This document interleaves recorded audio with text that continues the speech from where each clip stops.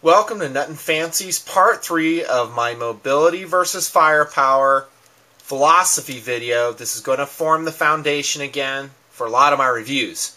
Not just gun reviews, not just knife reviews, but backpacking reviews, tactical accessory reviews, because a lot of it falls in the same category where weight is a consideration, size is a consideration, versus maybe capabilities in firepower. And again, these are all encompassing terms I'm talking about. I simplify it down to mobility versus firepower. That's the quickest way, the easiest way I can get across the concept to you. In part three, we're going to pick off where I pick up where I left off, and that was talking about the amazing array of armor the Germans had in World War II. And this is again is a great way to illustrate the mobility versus firepower concept. We're looking at the very capable Tiger II. We talked about that in previous parts of the video series here. And the Germans had a lot of incredible armor. Talked about this a little bit. Talked about the Tiger 1. Very capable. Yeah, it had some big downsides to it. Talked about those. The Stug 3, very, very capable. Didn't talk about the Panther tank, really. This is probably the most capable tank of World War II. Sure started out sucky though. First Panthers in the Battle of Kursk and the Eastern Front in Russia were a miserable failure. They didn't. They rushed it produ- to production thanks to Hitler's pressure on the designers and the factories, and the engines were overheating, actually catching fire, destroying the whole tank and also it just wasn't reliable. Needed some fine tuning before it was made reliable. Eventually, it became probably the best tank of the war. It was about 98, 99,000 pounds, 29 miles per hour, miles per hour road speed, good range at 110 miles. It was actually an excellent blend of mobility versus firepower. Probably the best in the war. And sometimes, just sometimes, the gun, the knife, the tank, the backpack will strike that really awesome blend. I think the Glock series of pistols is another good example of that mobility versus firepower. There's a couple weapon systems, tactical systems, outdoor systems that will get it right, just like the Panther did. Panther was an awesome tank. Sloped armor, fast, high velocity gun, could penetrate 100 20 millimeter or 120 millimeters of armor at 1100 yards. That was pretty capable. 120 millimeters of armor itself on the front glacis plate. Really hard to knock out a Panther. By the way, this was made in response to the excellent Russian T-34 tank. Sorry I'm concentrating on these tanks, but again, I think it really speaks to what the concepts are that I'm talking about here. And speaking of concepts, why did the Germans lose the ground war? Here they had all these wicked tanks Tiger 1, Panther, King Tiger, another King Tiger, Stug 3. Heck, didn't talk about the mouse tank. Jokingly called it the mice, mouse or mouse tank, the moss. I don't even know if I'm saying that right. But this was a huge tank. Never saw operational service because it was still in development and testing phase by the time the war ended. This is a 414,000 pound tank. 12 mile hour 12 mile an hour road speed, 116 mile range, which was amazing for the size of tank it was. 350 millimeter, that's 35 centimeters maximum armor depth. That's pure steel. That's how thick the steel was on the mouse. Amazing. Cannons as your coaxial gun.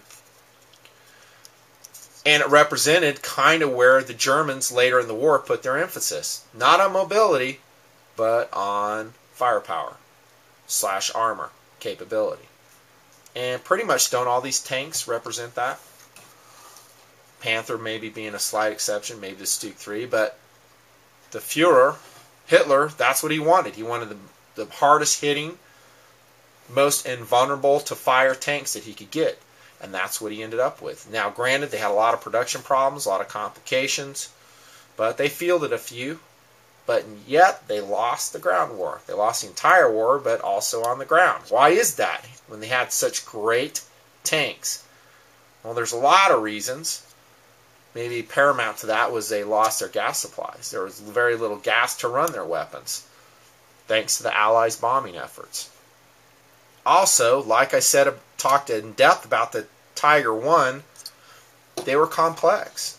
They were imperfect. Yeah, they had great guns on them, they had thick armor, but they had also a lot of other problems that led to reliability problems, range problems. 37 miles cross country? You gotta be kidding me. That's horrible. That's what the Tiger had. So very often the Tiger was nowhere to be seen in the fight because either it was broken down, there were too few of them because it was so expensive to produce, or is just out of gas. So it wasn't there. Which leads us to talk, and I want to talk to you about the Sherman. So, how did this humble little tank win the ground war in Europe? You know, it was an inferior tank. You ask me, the Sherman in no way, shape, or form, well, I shouldn't say no way, but in most ways, was inferior to the Tiger 1. And yeah, when it came head to head against the Tiger 1, it was pretty much running. Now, in the hands of a capable tank commander and with a platoon of Shermans that knew what they were doing, they could take out Tigers.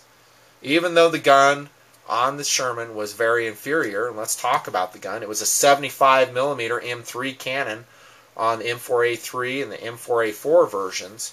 Later, they upgraded it to, I believe, a higher velocity 76 millimeter version, and then finally the Sherman got squared away in the armament department when the Brits put on a 17 pounder gun on the Sherman Firefly version. That's when the Sherman tank actually had enough firepower, speaking of the gun, to take on a Tiger tank. How about some other specifics of the Sherman? Want to cover those real specific, uh, real quickly too. 70,000 pounds. Had a V8 500 horsepower engine road speed of about 26 miles an hour, range of about 100 miles. All those were good. As good as most medium to heavy tanks of World War II. So there are a lot of good things uh, about the Sherman as well. Um, but again, let me go back to the bad things. One is it had poor armor. The armor itself was only 100 millimeters at its maximum point. The turret was only 50 millimeters. Add to that that it was non-sloped. Therefore, it could not deflect shot as effectively as a T-34, as a Panther. Wasn't as effective. Flat on the sides. I mean, that was begging to get knocked out, and that's where a lot of Shermans took their hits right here in the side hole, and it wasn't super thick through there either. And a lot of Sherman crews lost their lives when they got hit by anti-tank weapons or tanks. So the armor sucked. I've already talked about the gun. That was pretty much ineffective against German armor until it was upgraded later in the war. So, big downsides. Also, it had a really high profile. Compare it to the Stug 3. Look how higher that is. Another good reason why we're using models, because you can see relative sizes. Even with the higher side plates on the Stug, the Sherman was way higher. That made it harder to conceal and for the enemy a lot easier to hit. It was a high profile armored vehicle that you could spank with an anti-tank gun or another tank. Those are the bad sides of the Sherman. So let's get back to the good. The good was one of them was the motor. They put in that V8 engine. That was a reliable engine. It's a proven engine, adequately powerful for the size and weight of the tank. It was reliable. And when it did break down, generally speaking, the crew inside the Sherman knew how to fix it. It was just a V8. A lot of those dudes knew how to fix V8s. The same car they had back home, more or less. Reliable. Good suspension system, too. Upgraded through the war. Good cross country performance. So it was effective, uh, and it got better as the time went on. Good endurance. The range was good. And that leads us to the most important factor of the Sherman tank. Dudes, nearly 50,000 of these tanks were produced during the war. 50,000. So, more than anything, the reason the Sherman made such a huge impact in World War II is because, like I like to say, nothing fancy, it was there. Because it was there. The Sherman infrequently came up against the Tiger 1, if you ask me. It wasn't a common occurrence to go tank to tank. uh, I wouldn't say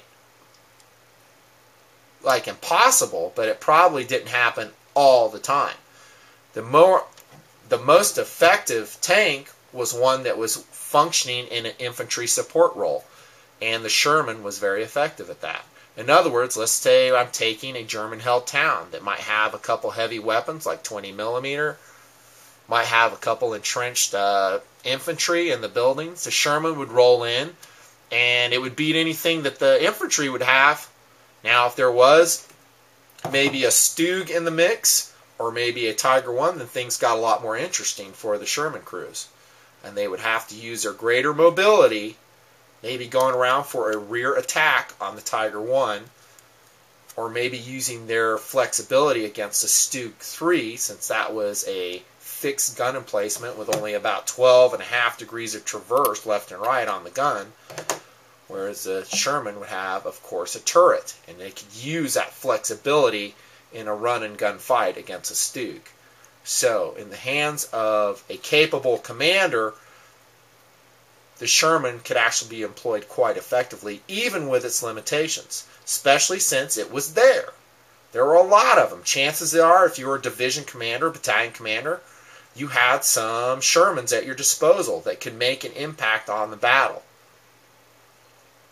You know, if you were a American commander or a German commander, and that you were offered, I'll give you 10 Tiger tanks, or I'll give you a 100 Stug 3s. What would you take? Or let's say, uh, I don't know, Patton tanks versus Sherman. What would you take? I can pretty much tell you that the answer would be I'll take the latter. I'll take 100 Stug 3s because they will have a much greater impact on the battle than an unreliable, short ranged weapon system like the Tiger 1 or maybe another tank along the same lines. I.e., firepower does not always win the day, especially with limitations like the Tiger 1 had. It was short ranged, unreliable. And the Sherman, on the other hand, was reliable. And it was there, more importantly. It was in the possession of the commander so it could have an effect on the battle. There were enough of them. They were reliable enough to be counted upon when the battle progressed they're fast enough to keep up, and there's a lot of parallels in the Sherman tank when it, we talk about guns, when we talk about knives, when we talk about tactical systems, outdoor gear. Having it there. So back to reality, bringing the SIG 226 back in, and this is just representative of the breed. What I'm talking about is using the SIG P226 in this situation as being representative of the firepower concept, a full-size pistol. We could substitute a 1911 of any make or model you like, a Beretta 92, on and on. You know, a lot of guys will ask me, where did my book go? They'll say, dude, what about the Desert Eagle? That's a cool gun. What do you think about that? Nothing fancy. Well, the Desert Eagle, just to divert here a little bit, is another representation of the firepower concept. It is chambered for some pretty darn powerful cartridges 357 Magnum, 44 Magnum, 50 Action Express. That's a lot of firepower. Very capable cartridges. However, the bullet launcher that spits them out, this Desert Eagle, weighs 60 ounces. Kind of like the 121,000 pound Tiger tank. Dude, that's too heavy, too big. What do I think about the Desert Eagle? May do a review later. Be patient, please. I think it's a Hollywood gun. Good for video games, bad for real life. Unless you're a hunter. Maybe you're going out and hunting with a handgun, in which case it's probably good weight capable. Back to the SIG, though. It's representative of that concept of firepower versus mobility. And in part four, I'm going to pick it up talking about the specifics uh, and the choices you have to make in your role as perhaps a police officer, as a civilian carrying a weapon legally, or a soldier. And they're not easy choices, but you got to make them and make them wisely. This is nothing fancy. Firepower versus mobility. End of part three. Thanks so much for tuning in. Here comes part four.